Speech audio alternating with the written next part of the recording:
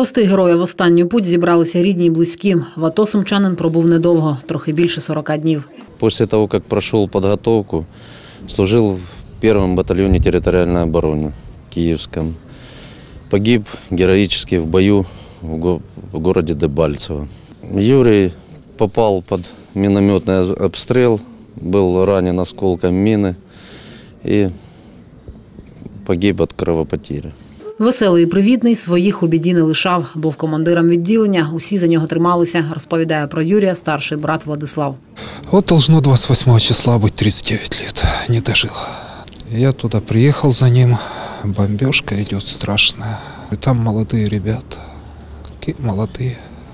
Мне за них страшно за всех. Окрім матері і брата, у загиблого залишилась дружина і син. Вшанувати воїна та висловити скорботу приходять і зовсім незнайомі люди. Я як патріотка України, це, це чий син, це мій син. Я так вважаю. І ми повинні прийти в останню дорогу привести такого патріота, людину, яка віддала життя за нас, за наших дітей, за онуків. С детства чуть меньше на одной, в одном дворе выросли. Хорошим человеком был, таким добрым, отзывчивым. Хороший парень, робив все, забрали, а привезли такого.